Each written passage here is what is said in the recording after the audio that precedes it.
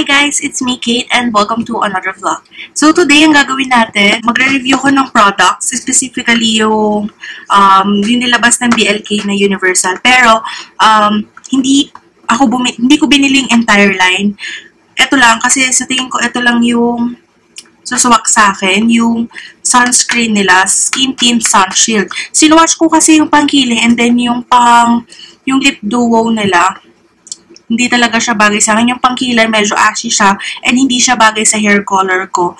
Then, yung duo naman, um, um, hindi naman siya pangit. Hindi lang talaga siya bagay sa skin tone ko. Doon ako nahihirapan kasi morena nga, pag maitim ka, di ba, ang hirap maghanap ng shade, tapos medyo dark pa yung lips mo. Mahirap talaga. So, hindi bumagay sa akin ang pale kong tingnan. Mukha kong may sakit, ganun na lang. Sinuch ko to sa mall yung darkest nila, okay naman siya sa akin. Um, sa tingin ko, ito yung suswak na shade sa akin. My shade is um, almond. Almond to. Nakita na ko dito kasi very handy siya. Hindi siya, kahit dalhin mo everyday, okay lang kasi maliit. Kaso for the price, 499. Sa bagay, yung mga sunscreen naman, usually 30 ml, 50 ml. Ganon yung price niya. Hindi, hindi naman, hindi nga naman to foundation. Um, skin tint nga lang siya. So, ang in-expect ko, light coverage lang talaga to. But before this, uh, maglalagay muna ako ng primer. Kasi hindi ako pwede hindi mag-primer. May coverage to eh. So, hindi na ako mag-foundation. Ito na lang, as is na. Pero maglalagay ako ng primer. Ito na-curious ako dito, hindi ko pa ito nagagamit. Nakaka-curious kasi first time ko makita ng primer na nakalagay dito, yung mga usual na primer ko kasi nasa tube or nasa pump, ganun. Pero ito, parang siyang powder foundation. Open mo, then may salamin pa. See? And meron pa siyang ganito. So, na-curious ako talaga. Na-excite ako dito kung um, okay ba siya. Ang nakalagay dito, expiration niya, 24 months. This is L LA colors, by the way, and binili ko siya for 198 pesos. Wala lang, kasi dahil na-curious ako. So, tignan natin kung talaga ba nakaka-feel ng pores to, kasi yun yung kiniklaim niya dito. I-ano ko muna. Sil silicone. Wala naman siyang foul ng smell. Wala, wala akong mamoy sa kanya. Ano kayang purpose nito? Bakit? Ay, ganito. Sige, lagyan natin. Tingnan natin. Sa tingin ko na blur na yung pores ko talaga. Na-feel.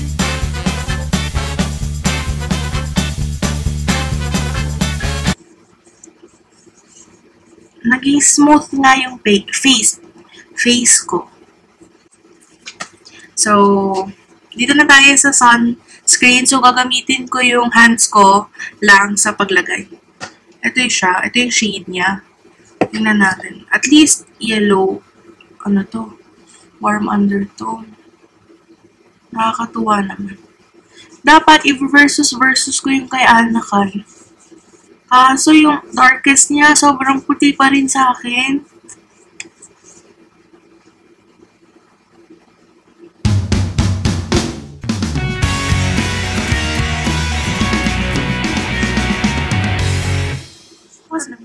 Amoy siya. Amoy lotion. Hindi siya sticky. Hindi siya mabigat. Parang nag-sunscreen ka lang talaga. And yes, pwede siya sa skin tone ko. Konting, konting, konting, konting puti lang. Pero, at last, may magagamit na. Kahit hindi na ako mag-foundation. Ito, magaan to. Yung foundation, mabigat sa mukha. Tingnan, uh, hintayin muna natin siyang mag-set. Then, tignan natin kung magta-transfer ba siya sa, siya sa tissue. Nakakatuwa naman. Kaso yan, light, dahil light coverage lang siya, makikita nyo pa yung mga acne mar marks ko dyan. So, I suggest, brush na lang yung gamitin.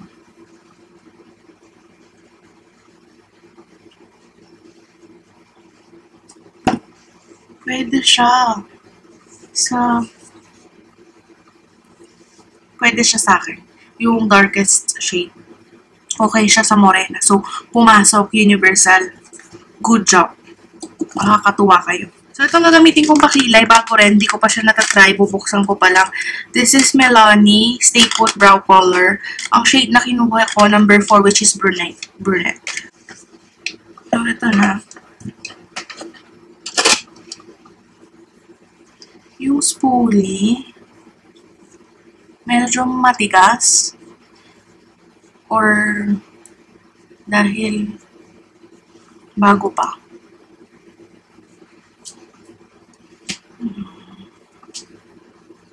Tignan natin.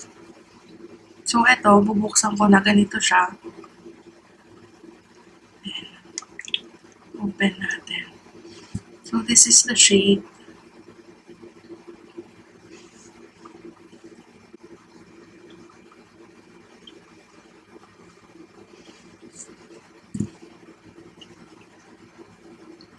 Tignan natin kung okay ba siya sa akin. I think this will work.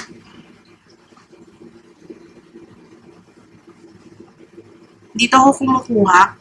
Sayang. Oops. Nahirapan lang ako dito kasi medyo maliit.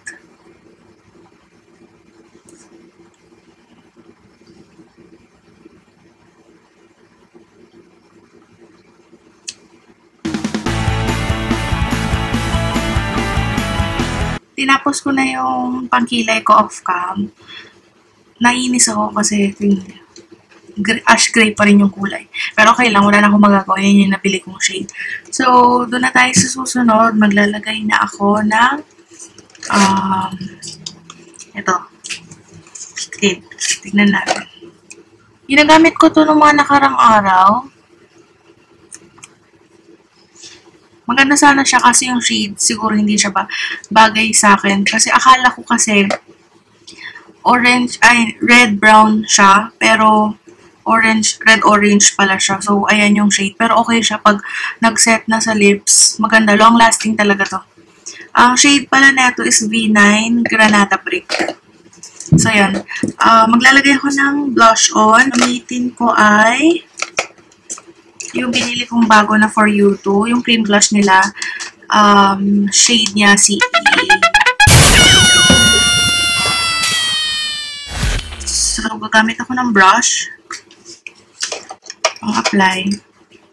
So, ito kaso basog, basog, yan. Pero okay lang, magagamit pa naman. So, yan. Tatlo. Yan. And after yan, maglagay ako ng konting blush para may kulay naman ang aking eyes. Gagamitin ko yung favorite ko kasama sa favorites ko to, which is BLK Knock All Over Cream Paint in the shade Daffodil.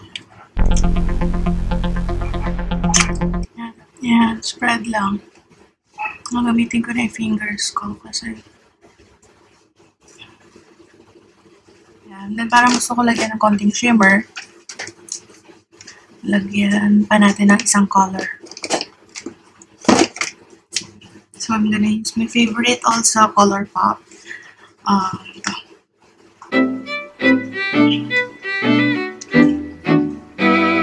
So, yan. Tapos na yung look. Um, so, guys, final thoughts. First, dito, sobrang nagustuhan ko. Wala akong masabi. Thank you, BLK, for releasing this. May shade na rin ako. I mean, may magagamit na rin ako na um, hindi ko na kailangan mag-foundation, okay na to sa akin. Kasi hindi ko rin naman kaya mag-bare face kasi syempre, hindi naman maganda yung skin ko. Kailangan ko pa rin kahit papano na may konting um, tint or light foundation sa mukha. So, thank you, thank you talaga.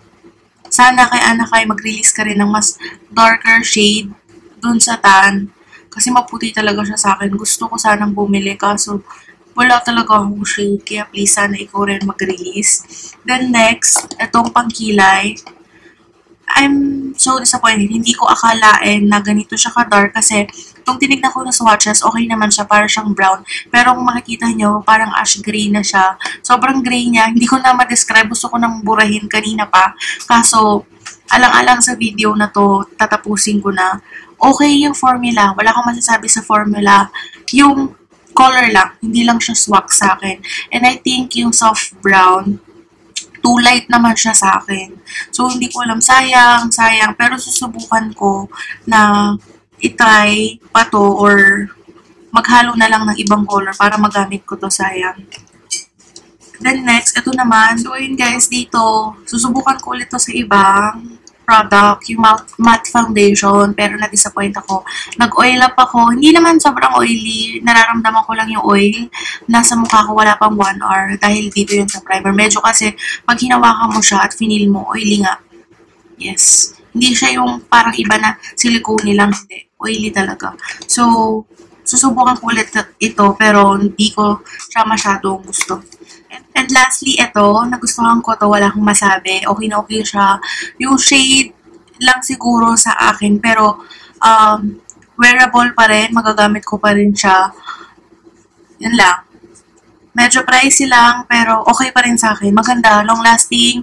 Talaga nag nag-iwan siya ng stay, no need for retouch. Okay to sa akin, magkagamitin ko talaga to. So, yun lang. That's it for today, guys. Kung may, may comment kayo or may gusto kayong ipagawa, just ilagay nyo lang sa baba. Gagawin ko kung may mga gusto kayong itanong or i-request na video sa akin, like yung mga pang, pang morena, ganun. Um, gagawin ko, sabihin nyo lang para makagawa ko ng video. So, kung nagustuhan niyo itong video na to guys, don't forget to like and click the bell button para ma-notify kayo sa susunod kong video. Salamat ulit! Until my next vlog, bye!